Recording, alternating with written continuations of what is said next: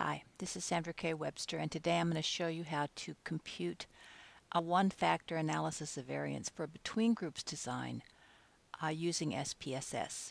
Here's the problem. It's the same problem that I used in previous videos um, for between subjects designs. Uh, it's a memory problem, and the independent variable is the different networks so there were minimal nets, moderate nets, and strong nets. And the hypothesis that we're testing is whether or not memory out of 12 will be stronger and better for a strong net than for a minimal net. So in order to show this, I um, am going to switch over to Excel and SPSS because one of the things that people have difficulty with with SPSS is the data structure. We need two variables. One is the independent variable, and I'm going to call that net, and the other is in, is the dependent variable, and I'm going to call that the memory. And it's useful to have values labeled for the independent variable because these are our conditions. This example has three, so I'm saying a 1 is the minimal. I have to add it. 2 is the moderate. I have to add it.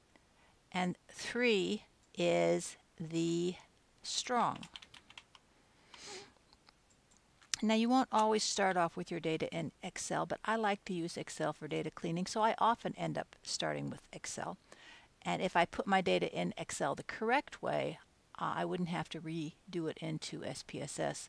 But because this example started off with an Excel example, I've got it in Excel, so I'm just going to go ahead and move it in to the data view. So with SPSS, we have a variable view on the input window and a data view.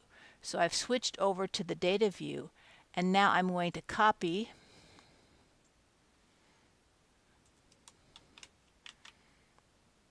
into the memory. And so one is minimal, and all of those are in the minimal condition, so I'm going to copy it down. There were 10 subjects in the minimal condition. Let's put these side by side. There are also 10 in the moderate condition. And if I copy this first, it makes it easy for me to know how far I have to put. Now I'm typing a 2.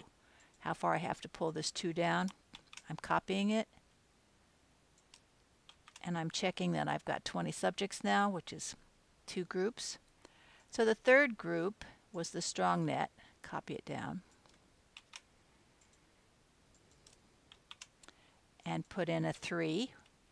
And the reason it's showing up the words is that under view, I have value labels turned on. If I turned it off, I'd have the number code. And your variables should be numbers. But in order to make it easy for us to think about what they mean, I put the value labels on. So I copy that down. So there are 30 subjects, 10 randomly assigned to each condition, and I'm ready now to test the hypothesis. So in order to do that, I'm going to maximize this so we're not looking at the uh, other windows behind. Analyze is where we get all of our statistics. I'm going to use the one-way ANOVA, which is under compare means. So if I move across, I use the one-way ANOVA. This is good for one factor when you have two or more groups. Of course, you could use a t-test uh, if you only had two groups, but you could also use a one-way ANOVA. It gives you the same basic results, t squared equals f. So the dependent variable is memory. The independent variable is the factor, and that's nets. Now if I go to options, I have a lot of options to choose. I want the descriptive statistics.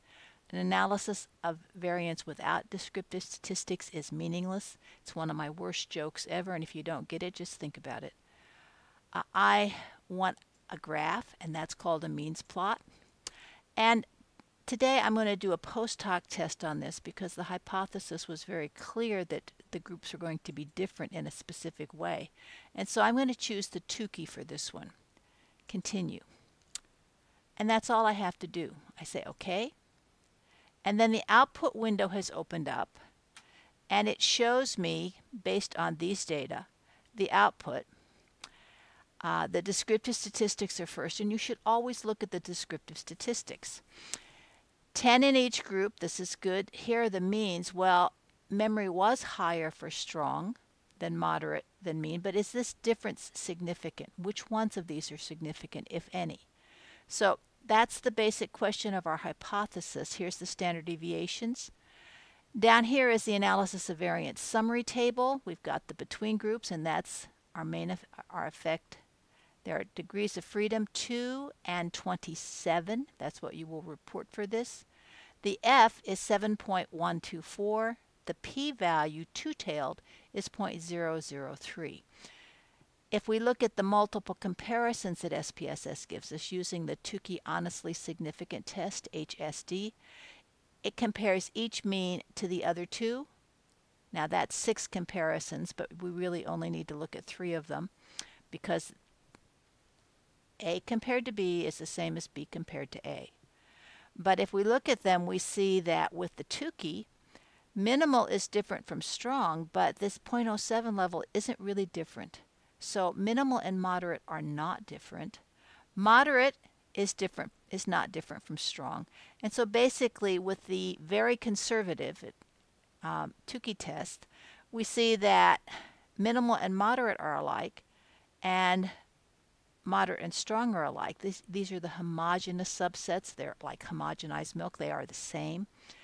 And if we look at it with a graph, basically minimal is different from strong, but moderate is in the middle and it's not significantly different from either one of them and that we get from e either looking at this or this. These two Tukey outputs are basically redundant. It just depends on which way you like to look at them. And that's how we do a one-way between groups ANOVA.